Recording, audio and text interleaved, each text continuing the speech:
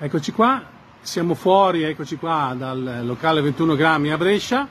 Eccoci qua con lo staff, tu sei? Sono Gabriele Festa. E tu sei? Io sono Edoardo Fracassi. E abbiamo lo chef, eccolo là. Ciao. Ciao. Andrea. Andrea e la Giusy. Ciao a tutti. Ciao a tutti. Cosa facciamo il 28 di settembre? Il 8 di settembre facciamo La notte? la notte dei risotti. La notte dei risotti. Devono venire tutti? Il 28 di settembre siamo a notte dei risotti e, e vi aspettiamo numerosi. Bravissimo, bravissimo. Giusy?